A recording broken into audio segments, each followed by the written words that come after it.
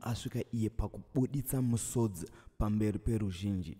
Zvizhinji zvinenge zviri mumwoyo asi kuti aexpressa mafeelings ake ange achitaura kuvanhu uye ange achitaura kune vanomunzwa vacho zvinenge zvichinetsa. Mhuri yezimbabwe ndinokumbira ungonyora kuti be strong kuna selma mutukudzi uyo akachema iye pastage pamberi pemafanzi ake pamwe chete nemafanzi ababa vake kusangana kusangana kwatiri kuita zvakare pachanel ino chanel yezim witness tv yandinodzoka nemaupdates uye ndinoti kana kari kekutanga kusvika pano ingobayawo button rekusubscribe then turn on the notification bell kuitira kuti usarasikirwe nezvandinouya nazvo pano zuva nezuva.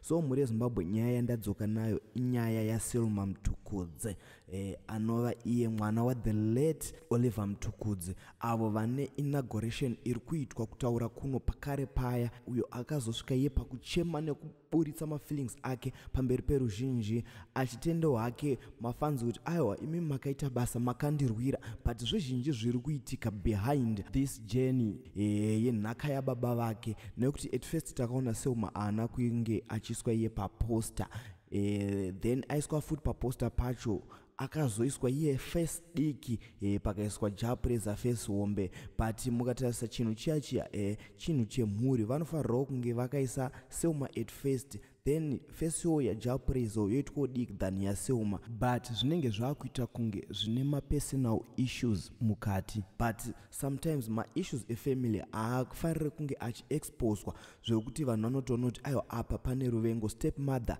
havasi kuda mwana e, tichirevera kuti daisy anenge asingade selma so ndine kavhidhiyo e, kaselma achichema iye pastage zvinhu zvonzwisa tsitsi zvinopisa tsitsi kuti kuona mukadzi mukuru akusvika iye pakuchema zvakangooma anotoshuwa kuti dai baba vangu vari vapenyu dai zvese izvi zvekubatwa nekuseri kweruoko zvisipo. But ndinongoti be strong mwanasikana. So ngationei kavhidhiyo kaselma achizosvika iye pakutosiya kuimba achitoti iye handichakwanisa nekuda kweshungu dzaanga ainadzo. So ngatione vhidhiyo racho